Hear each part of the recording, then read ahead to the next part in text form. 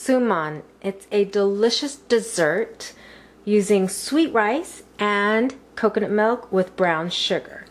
You want to make sure the packaging of your rice does have sweet rice on it because it's different from the short grain or medium grain sticky rice we normally use for meals.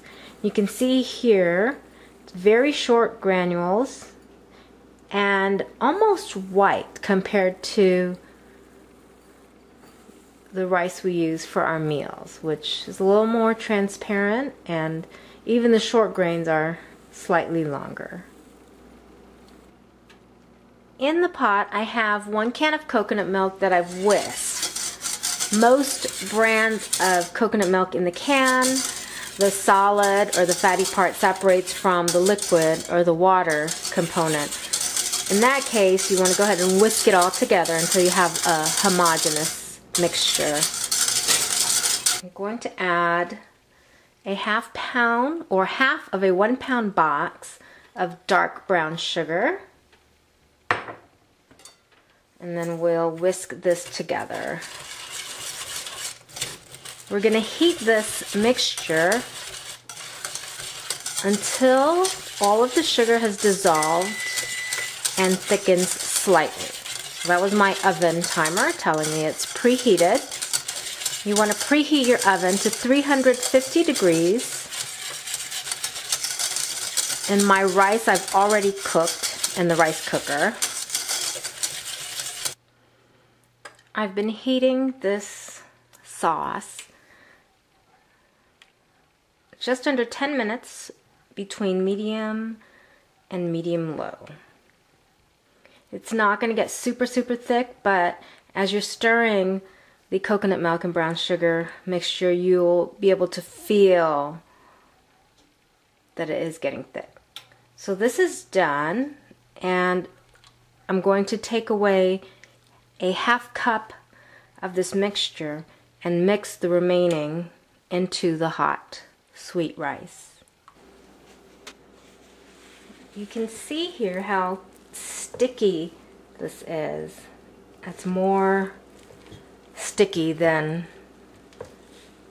the rice we eat at our meals. So this is two cups of the sweet rice and you use the same measuring cup that you measured the rice to measure the water. So two cups of rice into your rice pot, rinse it and drain it once, add two cups using the same measuring cup of water and then cook it according to your manufacturer's directions on your rice cooker. Here's our sauce, less a half cup.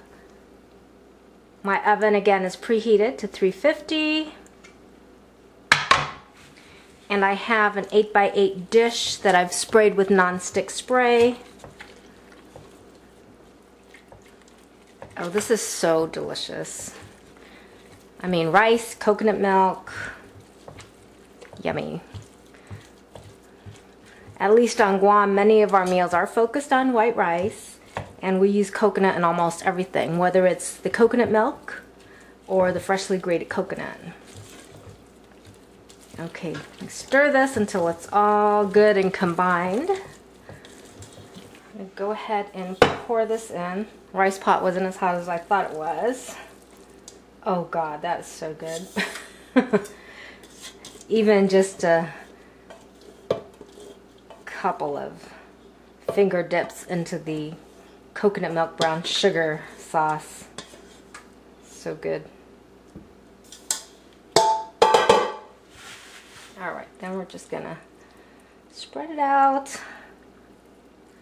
My friend Nancy, this is actually her recipe. She's Filipina and traditionally her family uses banana leaves but because we didn't always have banana leaves both uh, her husband and my husband were stationed in Germany in the army uh, since we didn't have access to banana leaves at the commissary, we just cook it without the banana leaves.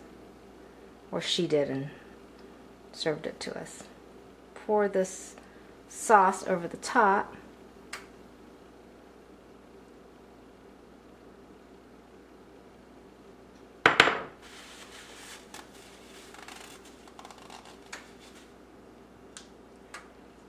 Little bit. The banana leaves gives the suman a great aroma.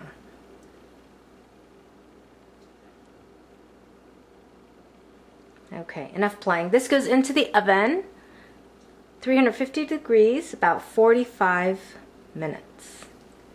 The suman just came out of the oven a few minutes ago and we're supposed to let this cool completely, but I'm going to go ahead and cut into it. It smells so good. Maybe I'll just cut a little corner instead of, yeah, it's not quite set. It's too soft to cut into, but oh well. Ooh, yummy. Okay. Mmm, look at that. It's piping hot, nice and brown from the brown sugar. See the sauce on top is going to be the best part because a lot of the sauce collected in the corner. Too hot to eat right now.